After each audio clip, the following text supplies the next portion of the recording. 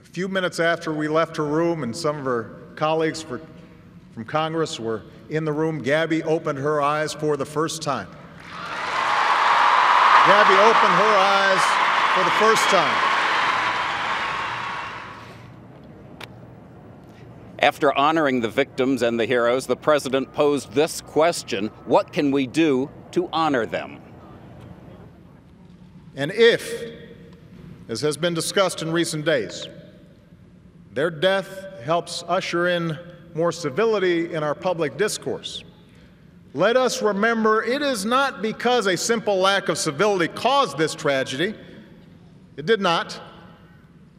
But rather because only a more civil and honest public discourse can help us face up to the challenges of our nation in a way that would make them proud. And the president said that if this tragedy prompts reflection and debate, let's do it in a way that is worthy of those we've lost. Katie? Chip Reid in Tucson. Chip, thanks very much.